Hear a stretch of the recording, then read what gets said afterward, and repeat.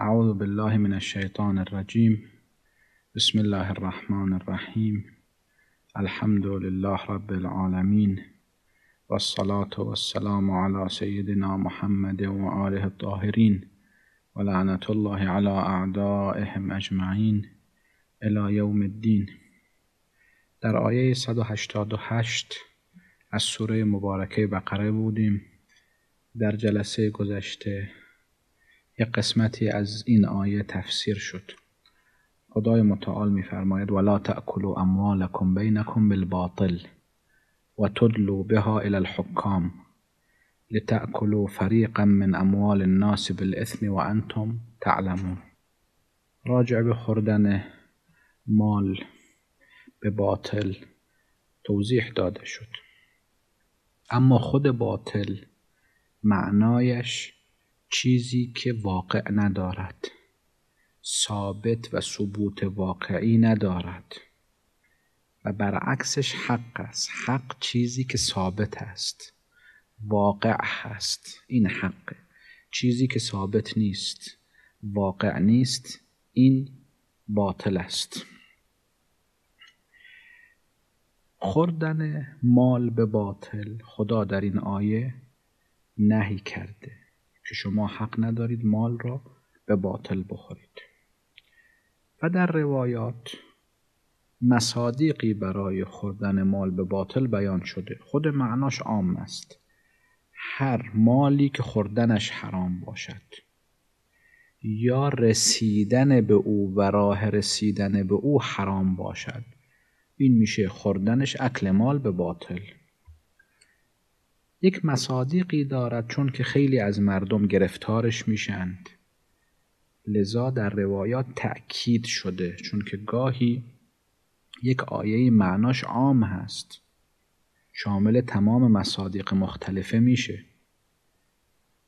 اما تأکید بر بعضی از مصادیق به جهت اینه که مردم زیاد گرفتار اون مصادیق میشند یا به علت اینکه سهلنگاری درش می کنند لذالک در روایات تأکید درش شده.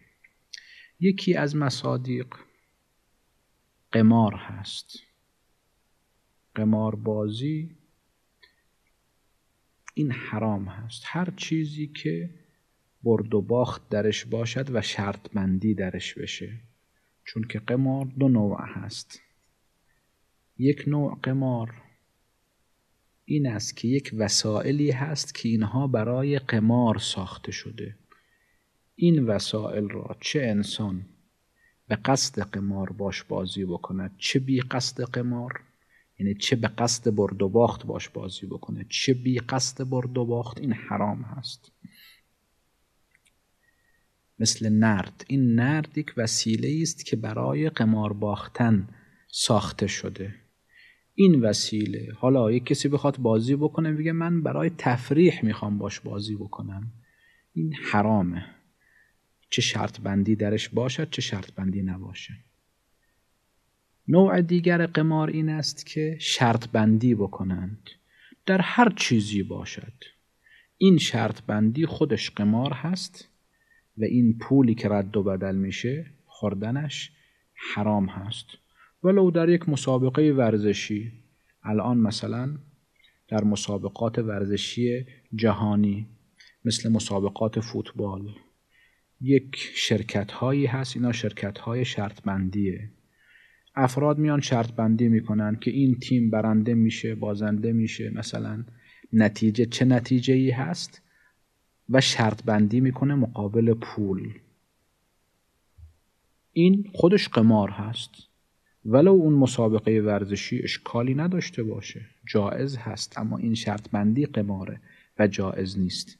و لذا اگر کسی بعدا این پول را گرفت و خورد این خوردن این پول اکل مال به باطل هست. و سابقا توضیح داده شد که قمار علت حرمتش یا یکی از حکمتهای حرمتش این است که یک افرادی بدون هیچ تلاشی و کوششی میان بر مال دیگران مستولی میشند و خصوصا کسانی که پشت پرده هستند و اونها شرکت های مثلا قمار را شرط بندی را راه انداختند که اونا علا کل حال برنده هستند. انسان چه برنده بشه چه بازنده بشه پول دیگران را داره بدون سعی و کوشش و تلاش مجرد مقابل یک شرط بندی داره می‌خوره یا اینکه پول خودش را مقابل این شرط بندی داره از دست میده. در اسلام انسان پول را برش مسلط بشه و این پول را استفاده ازش بکنه باید سعی باشه در این بدون سعی و تلاش انسان یک پولی را بخوره معنا نداره. حالا یا خودش سعی کرده باشد یا فرض کنید پدرش سعی کرده باشد که بعدا از پدر به پسر ارث برسد. اما یک پولی یک ثروتی بدون سعی برای یک انسان برسد این وجه شرعی ندارد. آیه شریفه میفرماید و ان لیس للانسان الا ما سعا نیست برای انسان مگر چیزی که درش سعی کرده کوشش کرده به اون پول با کوشش و تلاش رسیده. حالا یا خودش کوشش و تلاش کرده یا پدرش مثلا یا پسرش این پولی هست که انسان جایزه بخوره. یا پولی که طرف مقابل با به خاطر ضمن چارچوب شرعی به طرف داره میده. اما اینایی که در قمار بازی قمار میبازند این بدون هیچ کوشش و تلاشی طرف مقابل پول گیرش اومده. اونم پولهای هنگفتی که خونه خراب کن هست. خیلی کسانی هستن ثروتمند بودن. به وسیله باختن قمار همه وجودشون را از دست دادن. یعنی نه تنها قمار پول بدون کوشش و تلاش به یک انسان می‌رسه بلکه باعث می شود که یک انسان دیگری زندگیش تباه بشه زحمتش از بین بره. این یکی از مصادیقی است که در روایات بیان شده برای اکل مال به باطل. البته در موضوع ربا بعدا آیاتی در همین سوره بقره خواهد آمد. که در اونجا توضیح بیشتر خواهیم داد. یکی دیگر از مصادیق اکل مال به باطل این است که انسان قرضی که بر گردنش هست پرداخت نکنه. یک کسانی هستن میان قرض می‌گیرن. خب اون طرفی هم که پول را داده با نیت خوب داده به این طرف. میده که مثلا رفیق دوست آشناست. پولی بهش داده که این پول مثلا حالا یا حاجتی را با این پول قضا بکند یا اینکه مثلا تجارت بکنه باهاش. مدت معین یه سال دو سال کمتر بیشتر این پول را بهش پس بده. طرفی که پول را می‌گیره پول را پس نمیده.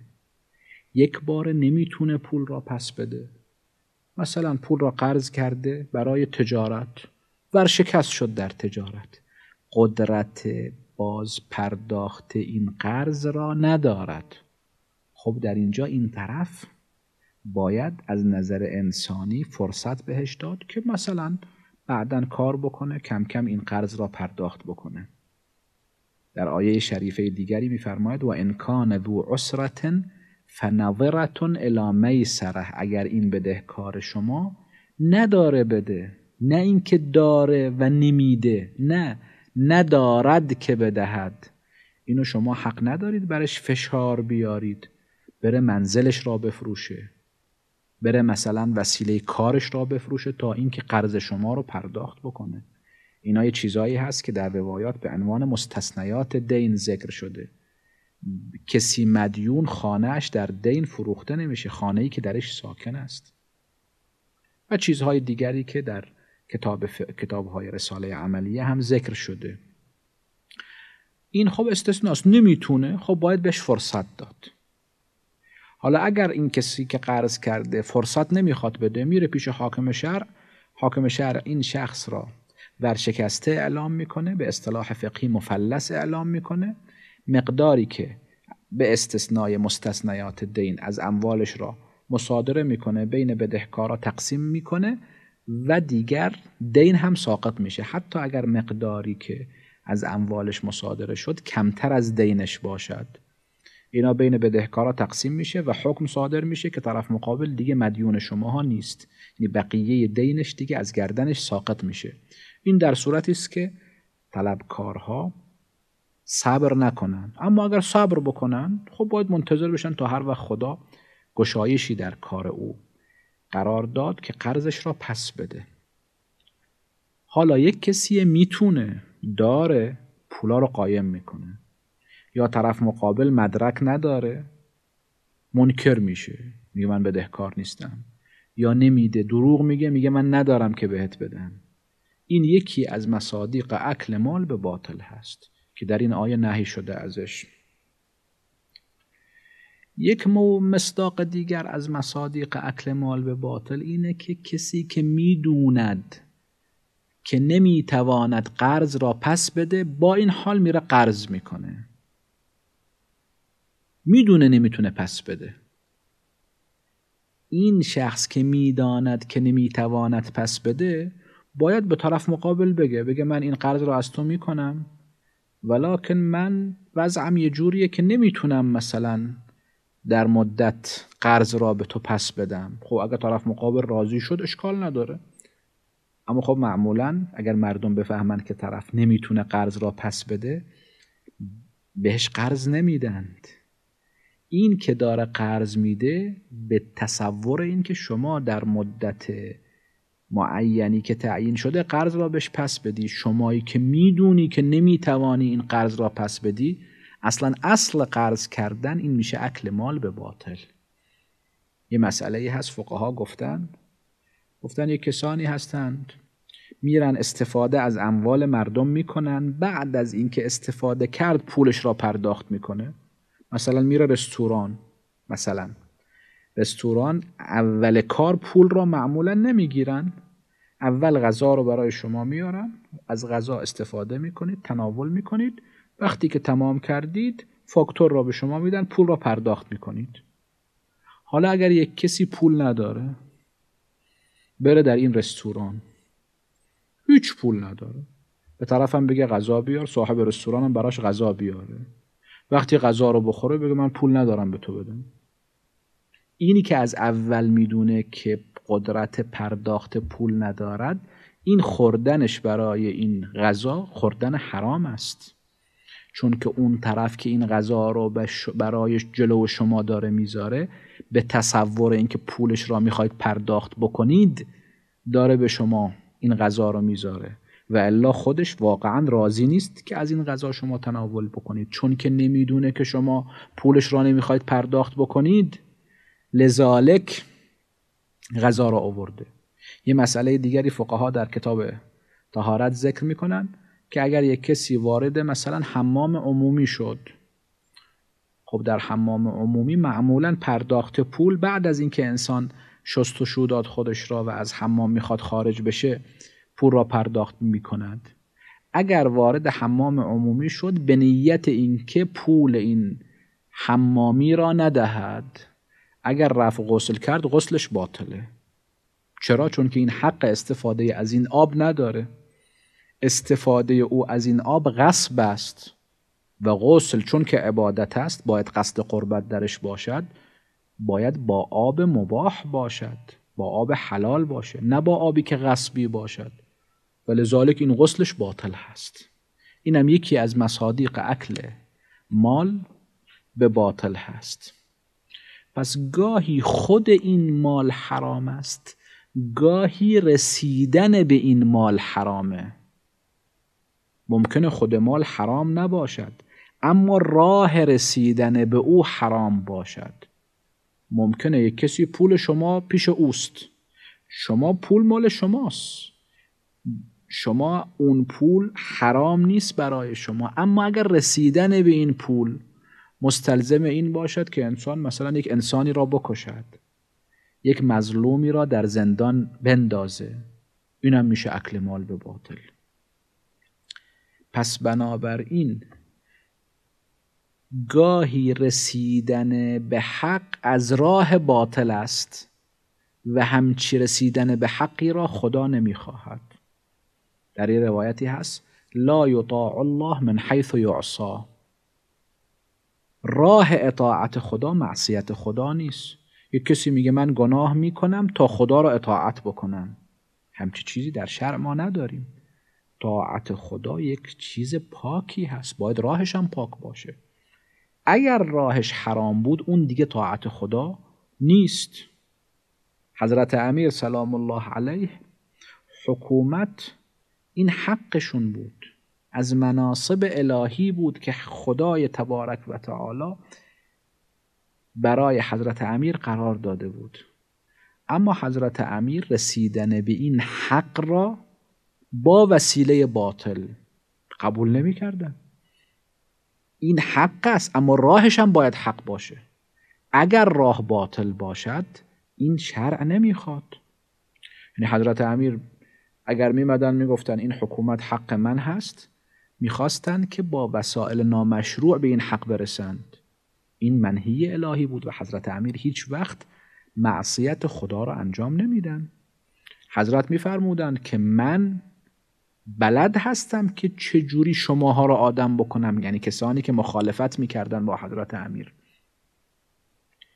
میفرمودند که من زرنگتر و زیرکتر از معاویه هستم. اگر او داهیه هست زرنگ و زیرک هست. شما خیال می‌کنید با زرنگی و زیرکی داره پیش میره با حق بازی داره پیش میره.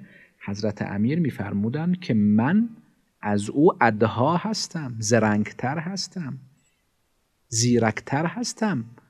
اما هیهات ان اطلب النصر بالجور. من بیام ظلم بکنم تا پیروز بشم. این کار را من نمی کنم معاویه غدر می کرد خیانت می کرد آدم می کشت پول را به ناحق توضیع می کرد میمد رشوه می‌داد به بزرگان قبائل و شخصیات اینا رو می خرید با چه پولی؟ با پولی که مال بیت المال مسلمین بود. با چه قیمتی؟ با قیمت کشتن هزاران هزار انسان بیگناه تا به حکومت برسه. خب به نتیجه هم رسید اون چیزی که می‌خواست. اما از راه معصیت خدا. حضرت میفرمودن که من می‌دونم که چجوری شماها رو بتونم آدم بکنم. نتونید نفس بکشید مخالفت بکنید. همین کاری که بعدا حجاج با اونا کرد. اون اهل کوفه ای که متمرد بودن حجاج چجوری اینها رو رام کرده بود؟ تا به یک کسی شک می‌کرد دستور می‌داد گردنش را بزنن. خب این خلاف شرعه. تا به یک کسی شک می‌کرد دستور می‌داد زندانش بکنن. مردم را به بدترین وجوه ظلم نگه داشته بود تا حکومت بکنه. حضرت امیر می‌تونستن این کار رو بکنن. اما این چیزی است که خدا نمی‌خواد. گفتن من هم خودم را برای خاطر اینکه شماها آدم بشید من خودم را به اسیان خدا و عذاب خدا نمیندازم شما را صالح بکنم اما به قیمت اینکه خودم را فاسد بکنم. هم چی کاری نمی کنم یا در روز سقیفه هنگامی که پیامبر اسلام صلی الله علیه و آله به شهادت رسیدند. خب پیامبر ارتحال کردند انصار بعضیاشون جمع شدن در سقیفه بنی ساعده یه سایبانی بود. سقیفه یعنی سایبان. مال قبیله بنی ساعده در اونجا جمع شدند تا خلیفه ای را انتخاب بکنند. ابو بکر عمر و بعضی های دیگر اومدند به این مجلس ملحق شدند و به سبب اختلاف بین انصار چون که خود انصار دو تیره بودن اوس و خزرج اونی که می‌خواست خلیفه بشه از یه طایفه بود. طایفه دوم خلاصه بر علیه اون شورید و برای اینکه سعد ابن عباده خلیفه نشه اومدن با ابوبکر بیعت کردن و خلیفه شد. خب حضرت امیر می‌تونستن در اون وقت جنازه پیغمبر را ترک بکنن و بیان در سقیفه شمشیر بکشن و به زور بر خلافت مستولی بشن. اما آیا این شایسته حضرت امیر بود که جنازه پیغمبر را ترک بکنه بره نزاع بکند بر حکومت؟ این لایق حضرت نبود. لذا حضرت زهرا سلام الله علیها فرمودن و ما فعل ابو حسن الا ما کان ینبغی له. شایسته بود برای حضرت امیر که با جنازه پیغمبر بماند جنازه پیغمبر را غسل بده کفن بکنه نماز برش بخونه. اون احترام لایق به جنازه پیغمبر انجام بشه که اهل مدینه و عوالی و اطراف بیان ده نفر ده نفر در حجره پیغمبر بر جنازه پیغمبر نماز بخونن. خب سه روز طول کشید. بعد جنازه پیغمبر را دفن کردن. خب وقتی بود که دیگه خلافت را غصب کرده بودن.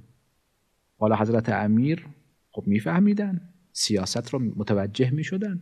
این وسایل را هم بلد بودن چه کار بکنن. اما این شایستهشون نبود که بیان ول بکنن جنازه پیغمبر را مشغول نزاع سر حکومت بشن. و حضرت امیر اون چیزی که شایسته خودش هست باید انجام بده.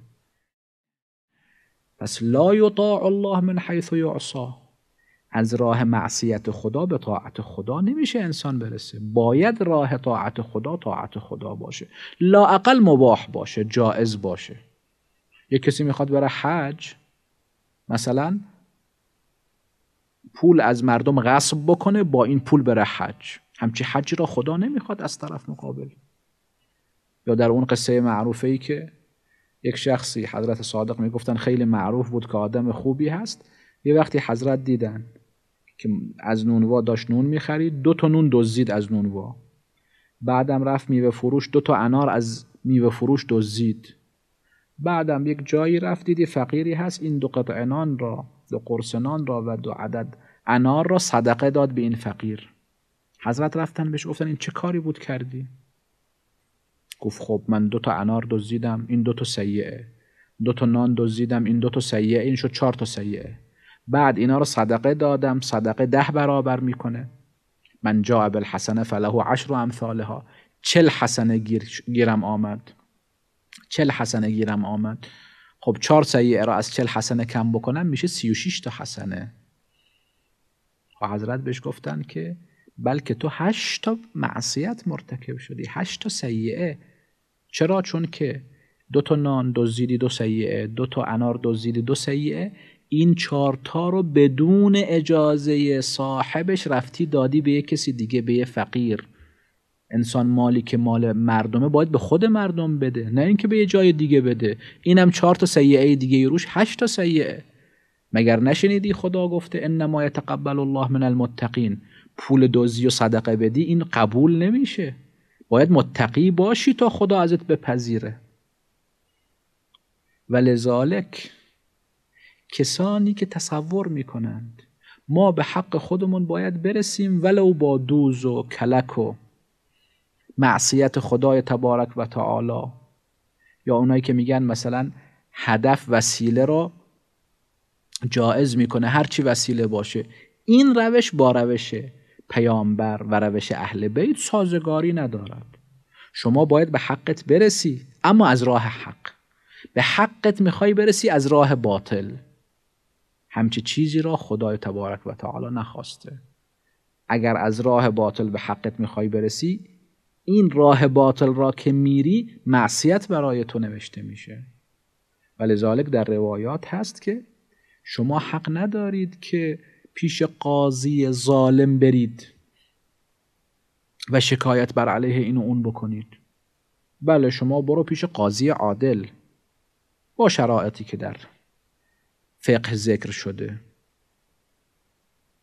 پس بنابراین اگر دو نفر مؤمن در یک قضیه اختلاف داشتن. حق ندارن پیش قاضی جور برن که حل و فصل بکنه در اختلافشون. باید برن پیش قاضی عادل حاکم شرع. حاکم شرعی که عادله. یعنی هم فقیه هست هم عادل هست. واجد هر دو شرط هست. پیش اون مرافعه بکنند حکمش را قبول بکنن هرچی حکم کرد. چه به ضرر باشد چه به نفع باشد. پس ولا تأکلوا اموالکم بینکم بالباطل. بعد خدای متعال میفرماید و تدلو بها الى الحکام یعنی شما بیایید این قضیه را پیش حاکم جور ببرید. خب حاکم جور که می‌برید خب یک چارچوبی هست. به نتیجه ضمن این چارچوب باید حکم بکند. حاکم جور هم درست حاکم جور است. اما اگر هیچ مصلحتی در کار نباشد بر طبق قانون عمل می‌کنه. قانون هم ممکن است حق باشه. بدترین قاضی را اگر انسان پیشش بره. اگر هیچ مصلحتی قاضی نداشته باشه نه این طرف نه اون طرف. حالا ولو قاضی بیدین باشه بر طبق قانون عمل می‌کنه. مصلحتی ندارد که بر خلاف قانون عمل بکنه. خاصه اینکه خلاف قانون عمل کردن ترس داره ممکنه کشف بشه آبروش جلو مردم بره. یا اینکه مثلا مافوق بفهمه که این خلاف قانون عمل کرده معاخذش بکنه. خب پس اینایی که مال مردم را می‌خورن وقتی میره پیش قاضی جور سعی می‌کنه برای قاضی جور مسلحت درست بکنه. تا قاضی جور با اینکه قانون هست یک جوری خلاصه پیچش بده و حکم را به نفع اون کسی که اهل باطل است و اکل مال به باطل کرده بده. این ساده ترین راهی که اینها اتخاذ می‌کنن رشوه دادنه. قاضی نشسته. خب دو نفر سر یه ملکی با هم دعوا دارن. یکی صاحب حق است یکی باطله. میان پیش قاضی. اگر قاضی با هیچ کدوم از اینا مسلحت نداشته باشه ولو قاضی جور باشه حسب قانون حکم می‌کنه. اما اونی که اهل باطل پول بهش میده رشوه بهش میده. قاضی هم می‌بینه با این رشوه خاری وضع خودش مسلحت مادی خودش تأمین شده. یک کاری می‌کند که حکم را به نفع این نفر دوم بده که اهل باطله. و این آیه بیان می‌کند چون که یکی از روش های شایع در خوردن مال مردم رشوه دادنه. چرا؟ چون که به نتیجه در هر زمانی هر مکانی حکومت درش هست. حضرت امیر فرمودن لابد للناس من امیر برن او فاجر به نتیجه مردم که مدنیون به طبع هستند اینها بدون حکومت نمی‌تونن زندگی بکنن. بدون حکومت نمیشه زندگی کرد. هرج و مرج میشه. پس باید یک حکومتی باشد. حالا ممکن است این حکومت عادل باشه ممکنه ظالم باشه. به نتیجه حکومت یک چیزهایی را لازم داره. از جمله دادگاه یعنی قوه قضاییه در هر حکومتی قوه قضاییه هست وزارت دادگستری هست قاضی هست قانون هست چون که بی قانون نمیشه. شما در بدترین کشورهای استبدادی هم که برید به نتیجه دادگاه درش هست. قانونی درش هست. حالا چه قانونش درست باشه چه نادرست. تا اینکه حکومت مردم را کنترل بکنه. هرج و مرج نشه. خب. در اینجا مردم اختلاف می‌کنن میان پیش حاکم. این حاکم یا حاکم جور است یا حاکم عدل. حاکم جور میاد چه کار می‌کنه؟ چون که قانونم بلده دیگه. حالا یا درس قانون خونده سالهای سال معمولا اینجوریه دیگه. کسی که به مرتبه قضاوت می‌رسه سالهای سال درس قانون خونده. یا اگرم فرزن درس قانون نخونده این همه مدت قضاوت کرده به نتیجه مسائل قانونی درش دستش هست بلده. خصوصا اونایی که مستشارم دارن. طرفی که صاحب حقه حقش را باطل می‌کنه. شاهد میاره این شاهدها رو رد می‌کنه. میگه اینا شاهد شاهدهایی هستن که سقه نیستن. مورد قبول نیست. اون طرف مقابل شاهد زور میاره شاهد دروغگو میاره شهادت اون رو میپذیره. یا قانون را یک جوری میپیچونه که به نفع کسی بشود که رشوه داده. گاهی هم حاکم حاکم عادل است. اهل رشوه نیست. اهل بازی با قانون نیست. حکم خدا رو زیر پا نمی‌ذارد. اما قانون یک چارچوبی دارد چون که قاضی که علم غیب که نداره. باید ضمن یک چارچوبی عمل بکند. خب شما مدعی هستید که این از این آقا طلبکار هستید. به مجرد ادعای شما که قاضی نمی‌تونه حکم بکنه. قاضی از شما شاهد می‌خواد. ممکنه شما شاهد نداشته باشید. خیلی وقتا یک کسی از صاحب حق است اما نمی‌تونه حقش را اثبات بکنه. خب وظیفه این حاکم عدل چیه؟ وظیفه این حاکم عدلی که علم غیب ندارد این است که در چارچوب قانون عمل بکنه. آقا تو شاهد داری؟ شاهد نداری؟ به طرف مقابل میگه تو منکر هستی قسم بخور. اگر اون قسم خورد حکم صادر می شود که ثابت نشد که این بدهکار برای شماست. ممکنه واقعا بدهکار باشه. اما در اینجا وظیفه قاضی عدل این بود که در ضمن چارچوب قانون عمل بکنه.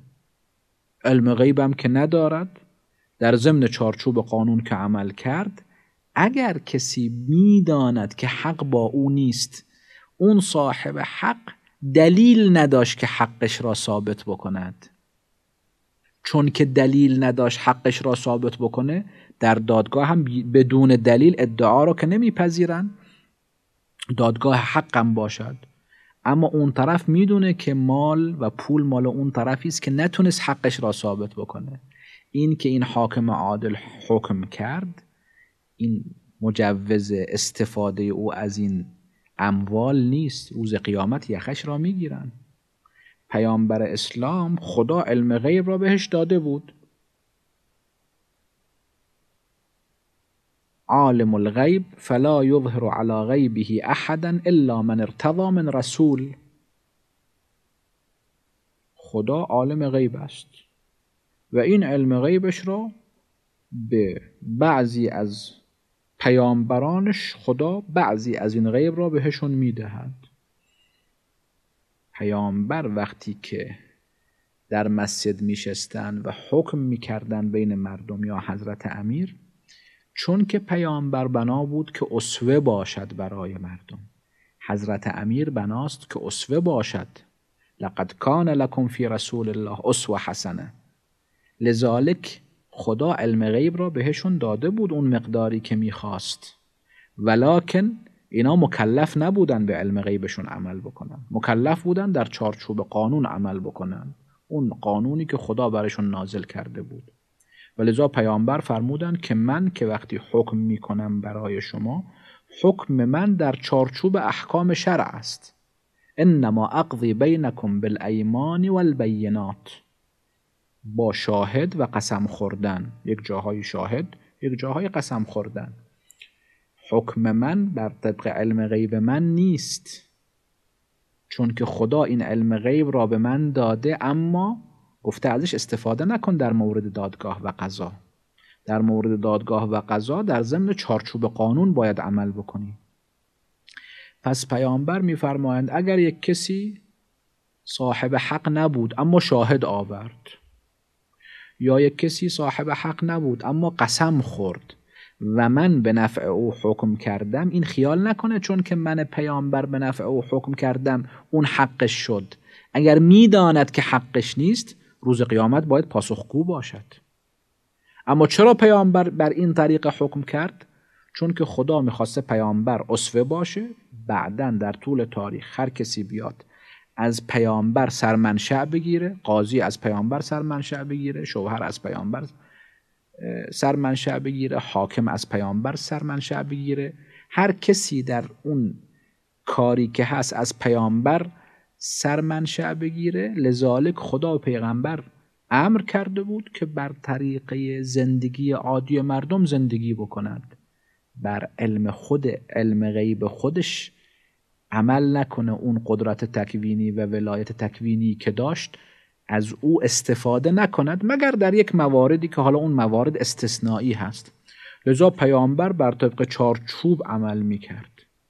چون که خدا خواسته اینجوری عمل بکنه چون که خدا مالک ملوک هست تمام این اموال هم مال خداست ملکیت او ملکیت به ذات است ملکیت ما بالعرض است.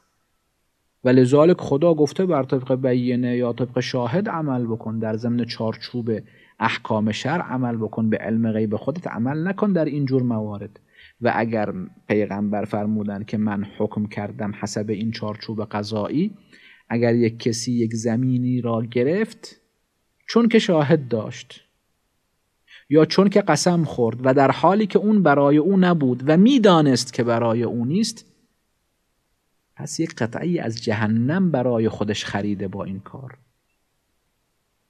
با اینکه حکم پیغمبرم حکم صحیحی بود چون که در چارچوب احکام شرع است. پس آیه میفرماید که و تدلو بها الى الحکام شما اموال باطل را می‌خورید میارید قضیه را پیش قاضی شکایت می‌کنید بر علیه صاحب حق یا اگر اون بر علیه شما شکایت کرد شما میرید پیش قاضی؟ لتأکلوا فریقا من اموال الناس بالاثم شما یک قسمتی از پول مردم را با گناه بخورید. قسمت دومش را به عنوان رشوه به قاضی می‌دید. این کار را نکنید. این کار به ضرر شما هست. نفع برای شما ندارد.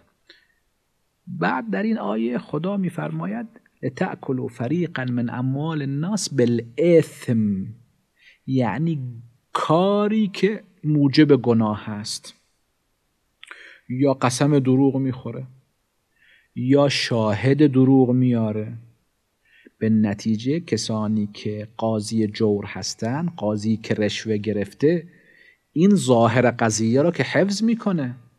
الان شما نگاه کنید تمام مستبدین میگن ما با دموکراسی سر کار اومدیم.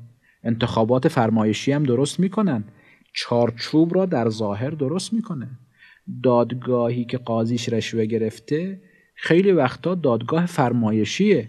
الان ما می‌بینیم که بعضی از حکومت های مستبد مخالفینشون را میارن در دادگاه. محاکمه می‌کنن محکومم می‌کنن.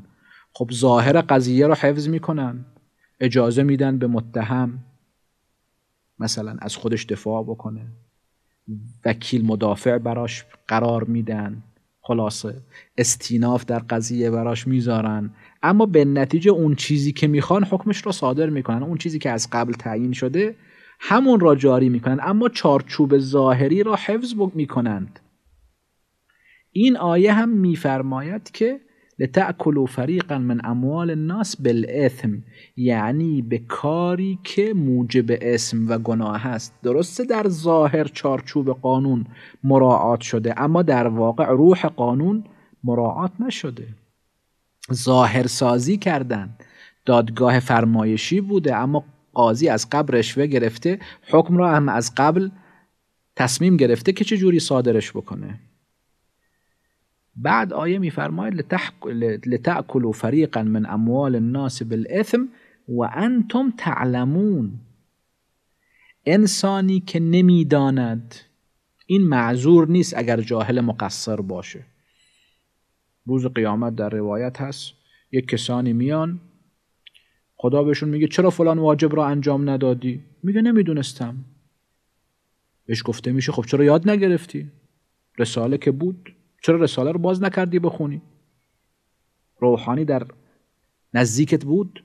چرا ازش سوال نکردی؟ مثلا در این زمان اینترنت و نمی‌دونم امثال اینا هست می‌تونی سوال بکنی. چرا سوال نکردی؟ چرا نرفتی احکام شرعت را یاد بگیری؟ این که بگی من نمی‌دونستم پذیرفتنی نیست. بله کسی که جاهل مقصر هست این شاید عقوبتش کمتر از کسی باشد که می‌دانسته و عمدن مخالفت کرده. هر دو عقوبت میشند اما کسی که می‌دانسته عقوبتش بیشتره. اون نمی‌دونسته خب معذور نیست باید می‌رفت یاد می‌گرفت. لذا عقوبت برش هست.